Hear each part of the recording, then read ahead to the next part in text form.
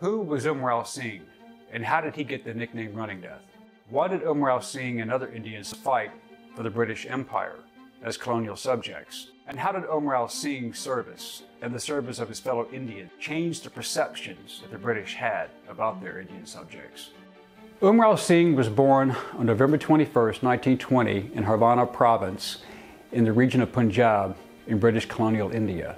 Umrao, with very few prospects, joined the British Army in 1939, and his actions were a direct result of his dedication to duty, service to his country, but also he became a great representative to his people. Umrao Singh was simply one of two and a half million Indians who served in the military for the British Empire and Commonwealth countries during the Second World War. His service would see him assigned to the 33rd Artillery Battery of the 30th Artillery Regiment of the Indian Army.